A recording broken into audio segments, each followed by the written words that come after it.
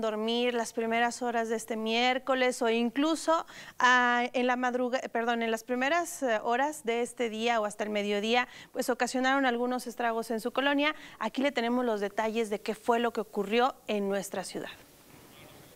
Las fuertes ráfagas de viento con las que amaneció este miércoles la ciudad de Saltillo dejó al menos tres árboles derribados, así como problemas en el sistema eléctrico de diferentes colonias, donde se reportaron cortes intermitentes de luz, principalmente al sur de la ciudad. Alberto Neira Bielma, director de Protección Civil y Bomberos, señaló que los reportes de árboles derribados se presentaron en las colonias Las Torres, República y Roma, además de detallar que los cortes intermitentes de energía eléctrica se deben a un arco eléctrico eléctrico que se produce tras el golpeteo entre sí de los cables de alta tensión.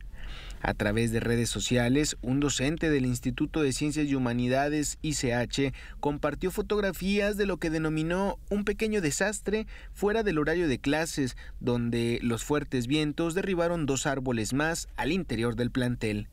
Pasadas las nueve horas, diferentes cuadrillas a cargo de la Dirección de Ecología en coordinación con Policía Ambiental y Protección Civil comenzaron las maniobras de limpieza en los diferentes puntos afectados.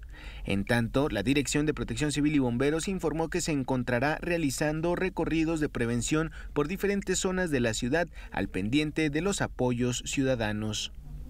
Con imágenes y edición de Ricardo Valdés, informó para Telezócalo Saúl Garza.